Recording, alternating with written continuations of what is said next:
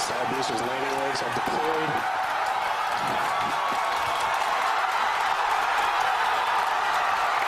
And the Falcons have landed. SpaceX launched the world's most powerful rocket today. This is video of the first two boosters landing at a nearby Cape Canaveral Air Force Station. The Falcon Heavy is now in space and has launched its payload on orbit around the sun. The Falcon Heavy is now in space. As, as we said, it, that payload is a cherry red Tesla Roadster on an orbit around the sun. Two.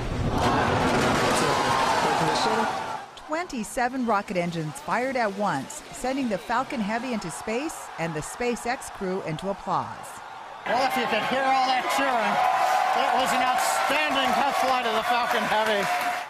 The Mega Rocket combines the power of three SpaceX rockets into one, generating over 5 million pounds of thrust, enough to launch a 737.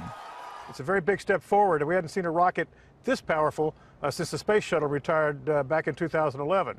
SpaceX founder and CEO Elon Musk spoke with CBS space analyst Bill Harwood Monday at the launch pad. And this rocket's great for, for a lot of reasons. Um, it's something that I think inspires the public, and you could actually send people back to the moon with the Falcon Heavy, with orbital refueling, send people to Mars.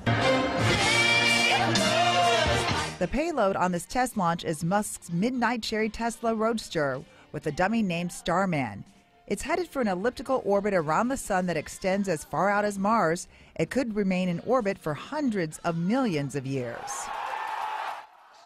Well, the third booster did not make it to the landing ship in the water and instead crashed at sea. I'm going to say two out of three isn't bad. That's No. something that was crazy. They to stuck watch those that. Landings like gymnasts. So Yeah. those, two, those two boosters, it was pretty awesome. Yeah, like Yeah, sci-fi. incredible. You think we'll get to Mars in our lifetime? Uh, you and I? Yeah. Uh, for a lake trip? Sure. Frank and Chris going to Mars. I think some people boy. would like for us to take a trip to Mars. yeah, I think you're right.